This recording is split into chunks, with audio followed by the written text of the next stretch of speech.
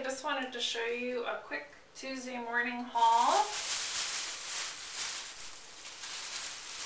This is actually the most I have spent there in quite some time.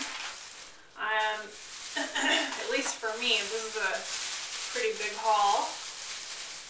I was hoping they would have some dies there, which they did. And I'm going to show you those first because um, if you can get over to your local Tuesday morning, if you have one nearby, uh, they had a bunch of these. And um, I think Spellbinders has the same type of line, and Spellbinders calls it um, Build a Flower.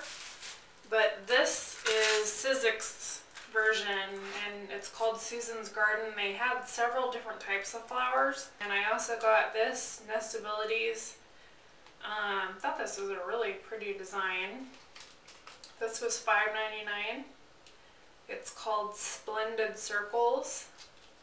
So these two were really good finds I thought and they had quite a few embossing folders and dies and I could have bought a lot more let me tell you but I had to have some like reserve but um, here was another really cool thing that I saw um, it's Seven Gypsies and at first I thought it was washi tape and I just grabbed it to take a look at the designs but it's actually what they call paper tape and it's a little bit fatter and um, I cannot wait. I'm so excited to use this because not only do I think the designs are really pretty and like vintagey looking but um, Paper tape takes the homely masking tape to a new level of decoration and utility. Highlight, use as a border or use to connect the pieces. Even works like regular masking tape but with a beautiful finish for your project. So I'm thinking this is probably stronger than washi.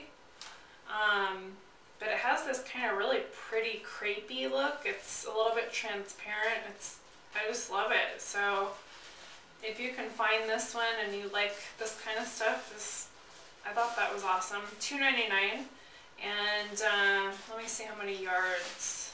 I don't know if it says on here, but you get quite a bit if you can see there in the roll. So that'll last a while. And then I grabbed another craft mat. I've been experimenting with different craft mats.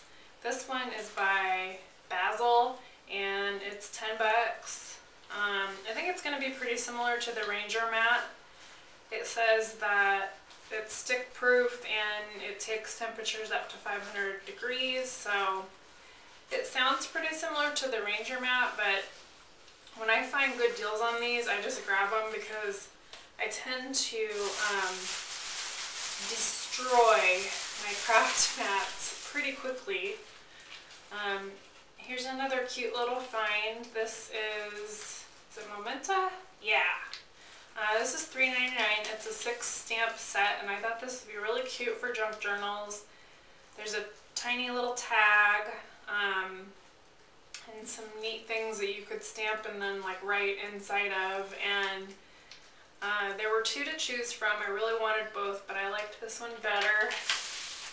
And last but not least is this. It's called Journaling Genie never seen this before. And it is by Chatterbox. And it gives you a little example right here. What it does is um, it gives you these different patterns that you can you can journal inside of. And the one that I really like is the spiral pattern. So it shows you on the back like the spiral pattern will keep your writing inside like a certain shape. So I just thought that'd be really cool and fun to add to journaling and it was only 99 cents so thought I would try that out. So anyway, it was a good haul day and um, hope you're having a wonderful crafty day wherever you are and I'll talk to you next time. Okay, bye.